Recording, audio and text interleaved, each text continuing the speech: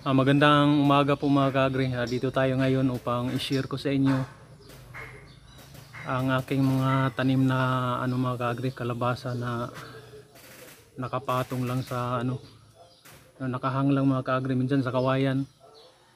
Tapos ang ang purpose kasi nito mga kagre kasi minsan ano kasi kapag sa yung iba kasi kapag nag ano ng kalabasa nasa ano siya mga kagre, lupa, di ba? Itong sa akin kasi napansin ko pinaglaruan ng pusa at saka daga. Minsan kinakain ng daga at saka aso mga kagri kaya ang ginagawa ko para hindi naman masayang ah, minsan hinahang ko talaga siya mga kagri tulad nito. Hinahang ko siya mga kagri para mapakinabangan natin yung bunga. Pero bago ang lahat mga kagri ito yung tanim ko na minarkot na papaya na apat ang kanyang sangaw. Ito walang bunga to, nabali ito mga kaagri. Tingnan mo. Ito maraming bunga mga kaagri. Yan. Yan. Medyo inano ng ano, insekto. Hinog na ito mga kaagri. Ito. Tapos, yan yung pangatlo niyang ano mga kaagri. Sanga. Apat. Yan, isang puno lang yan mga kagri. Yan o. Isang puno lang yan. Tapos ngayon, harbisin ko muna muna to kasi baka ano to. Yan. Sayang. Eh, lagay natin dito mga kagri.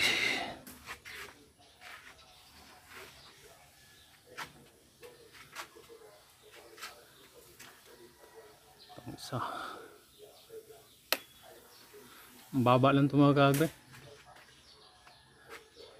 Kasi minarkot eh. Dalawa. Fresh na fresh yan mga kagre. Ito, hinom, hinom na ito mga kagre. Saka baka mabali eh. Ano? Sobrang bigat.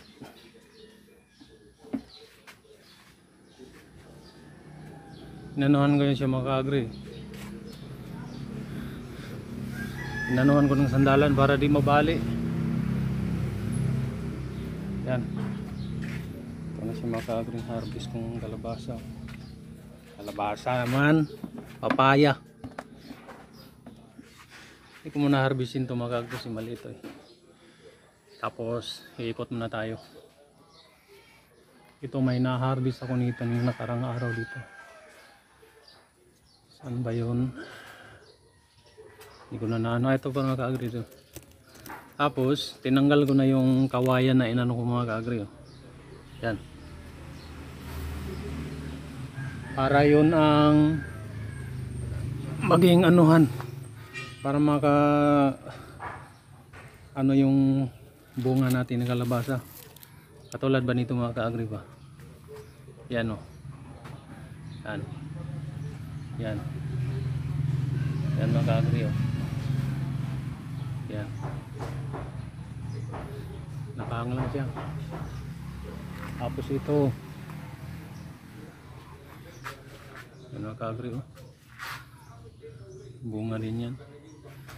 Sayang ito mga kaagri, di ko napansin. Yan oh. Sira. Di ko kaagad nagawa ng ano. Medyo matagal-tagal na ito. Ayan. nakahang lang yung makagri ayun sana akong inano sa'yo kung paano mag ano mag ano ng kalabasa or magpulinit ng kalabasa. Makagri ito kasi female ano to eh, flower to eh. Ito yung ovary niya na babae. Ang gagawin dito kapag para maging buo to siya mga kaagri maging bunga to ganito.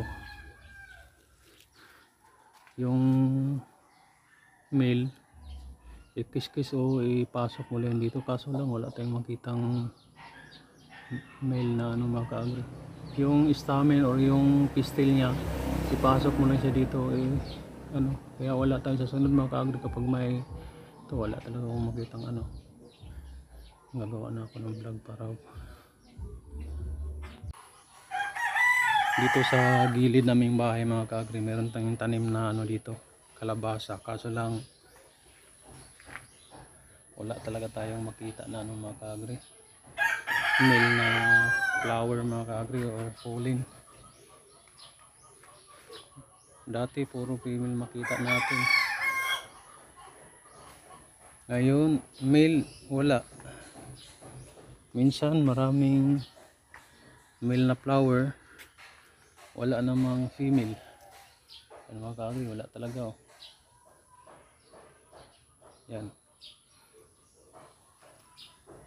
Talagang makita mga kaagri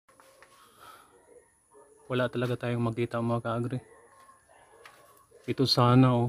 Madali lang naman mga kaagri Ah, kapag may nakita kayong male na ano putulin nyo yan, yun lang yung ano niya dito oh. ikat mo lang. Yan sa male mga kaagri pag makita yung lalaki na ano walang ganito. Tapos i-ano mo lang di, dito mga kaagri kiss-kiss mo lang. Or ipasok mo lang siya din mga kaagri. Tapos minsan kasi kapag uulan iganyan mo siya mga kaagri. Tapos talian mo lang ng scotch tape yan mga kaagri ganyanin mo lang yan oh. ikis-kis o steady mo lang siya mga kaagri ipasok mo siya dyan tapos, tapos yung ano na yan oh, yan. Yung ano na yan. Yan yung ovary ng ano. Yan oh. Yan yung ipasok yung ano yung stamin or yung pistil ng ano. Ikis-kis mo muna tapos ipasok mo.